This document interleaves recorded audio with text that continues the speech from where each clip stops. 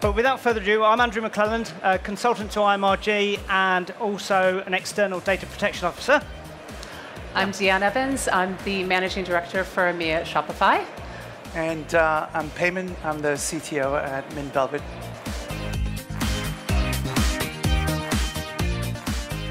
The brand saw really good growth, and then it was at a point where you go, actually, I need to invest in the right infrastructure, um, the right way to be able to scale it.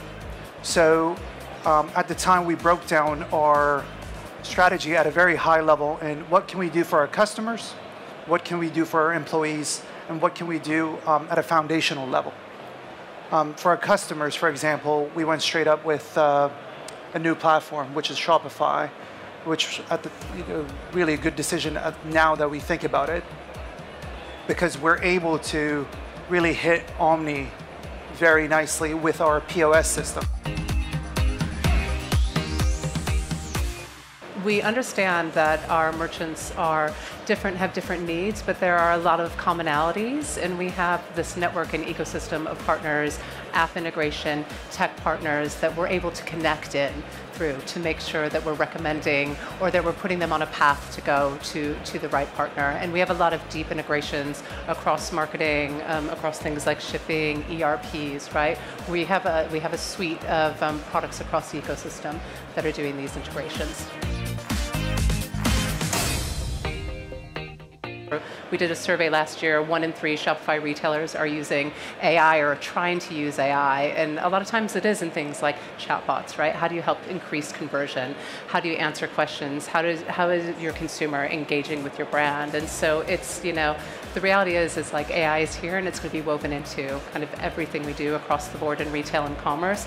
So how can you adopt it in the right way for your business to help really drive where you need to go? Because of cost of living, people have to work harder for the demand to come through.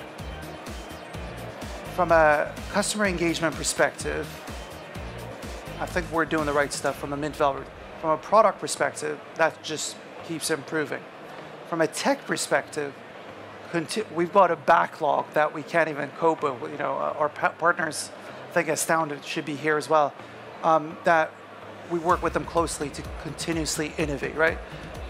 The biggest thing that we're going to make sure we have is not to provide additional capabilities for the next three months, but make sure the website we've got is faster and better looking.